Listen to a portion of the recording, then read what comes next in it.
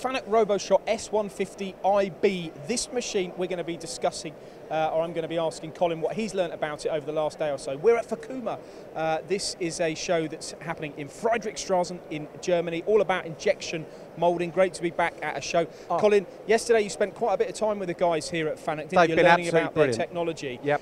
What have we got here? We have, it's a 150, so 150 tonnes. I have a range going up to 220 tonnes at the moment, but next year up to 450 tonnes. Obviously, depends on what components you're manufacturing, whether it's a, you know two small pieces or, or two bigger pieces, 50 pieces. Depends on the mould and what's going on here. And injection moulding is all about volume, isn't it? This is about You're not- continuous, precision, reliable moulding Yep. over long periods of time in high volumes. Well, key to what Fanuc do is high precision, reliable, repeatability. Absolutely. so, And- what is different with this S150, maybe compared to other machines, and how it's changed and evolved recently? key to what these guys do, it's electric, all electric, so it's got more precision, more accurate, and a lot, lot faster, really is. And also in this environment, you're talking cost to run these machines, it's a, well, up to 70% less cost to run one of these machines than a standard hydraulic What machine. com- compared to a hydraulic machine? Absolutely, yep. That, that's a huge, huge saving. What about this control system here? And I mean, this might be an opportunity to get Torsten involved as well if we need to. Abs- Um, because No, I, I know I you've I- learned a I can lot, run this, I I don't can know whether you can run this, can you, Colin? I can. Well, Touch screen. well, take a step back. First of all, a lot of the machines are run on PLC, but this is CNC, so it's a lot more accurate. Torsten's doing that at the moment, but as you can see, touchscreen, it's a huge 21.5 inches. Just, yep. But also, can I just, sorry Torsten, I've been learning how to program this, so he's standing close by just in case I break it. So if we go there, I can see the temperature. So here you can see 59.9 degrees, which if we pan up here, is in this hopper here. And, And is that the temperature of, of when it first goes into the? When the it first hopper? goes in, it's drying in there, the pellet, so it's got to be temperature controlled, and then it's going straight up to two, well, 275 there, which is, if Chris can just come down here for us, in there, you're talking 275, then it's getting warmer and warmer all the way along the screw, and that's showcasing here, so 275, 280, 280. And what temperature does it need to get to in order to? Depends on the material. So these are, I think these are plastic and um, TPE, so it really does depend on the material. But all very, these machines are sort of interactive, so they're monitor all the time. If you've got a different batch of material, in the same material but a different batch, it might be slightly different in viscosity. This will adjust it. It's interactive. It really Let's is. just bring Torsten in here. Tor- Torsten, how, if you could just come this way, how, how much better is this control system to what you've had before? And if you want to just take your mask down for a second, Yeah. Yeah. So, uh, how much better is this control system than the previous one? Mm, yeah, the controller is different from from the A, let's say A series. It's it's a not new, completely new machine. It's just a. Uh, Yeah, what are the enhancements on the control? What's different? Is it faster processing? the Is it yes. The CNC controller is a new, a new version, so it's faster. It looks yeah more up to date. Let's say we had a bigger. It's bigger for sure, and we have uh, two two two sides. We can we can have a go yeah. touch show us? Yeah. Let's say we have two, two sections on the left side. It's more if you, if you have a mold change, all the um, important pages. If you want a mold change, here's the maintenance and um, quality quality uh, uh, pages, for example. It's here temperature, um, and here we have some some curves, or we can see the, the all the process values we need.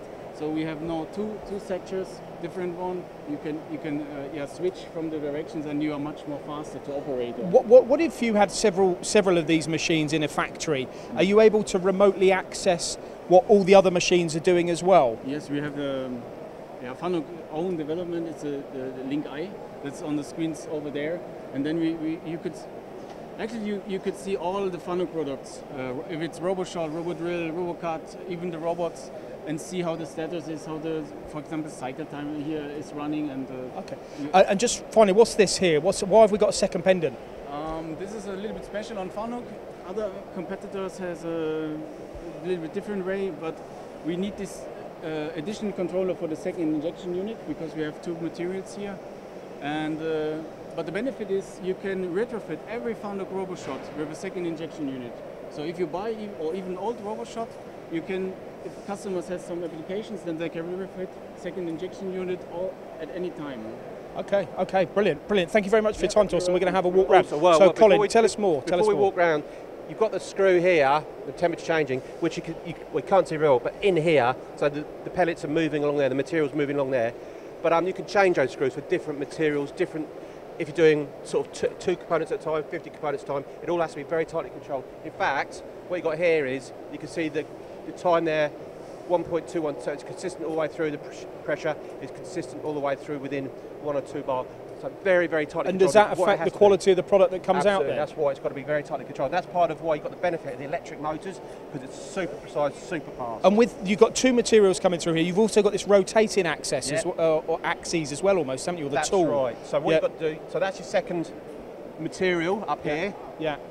And then hopefully we'll see this in a second if we time this correctly. We could be we could be waiting what no, not too long. But what you've got the motor here, which will take the mould and index it round Why does it need to be indexed? because then you're putting it you're putting in the second material.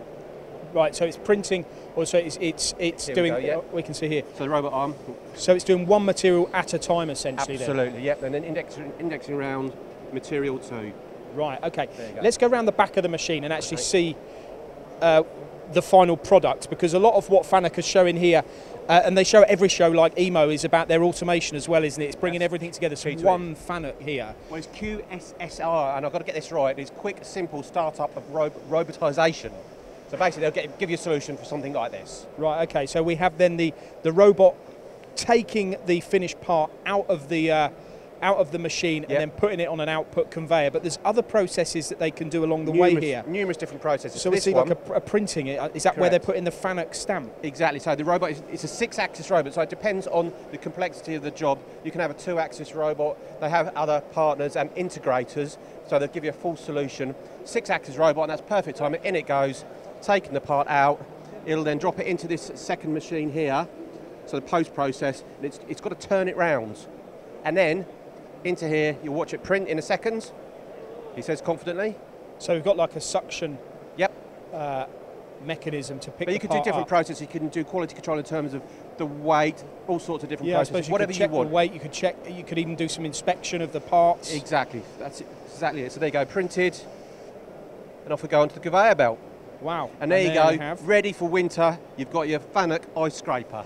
How's that? Let me just pick one of these up before we conclude. Careful, they're really, really hot. and you've seen the time it takes to make that. You're talking literally uh, a, a matter of seconds, It's, really. it's aren't you? long at all. It's, It's, it's, that- not long. And these things, again, are key to run 24-7, seven days a week. Yeah. They really, I load them up, let them go. So the main thing here is injection molding and looking at two differing materials plus the automation of Yep. it, plus adding other processes in. Yep. All done, one Fanuc.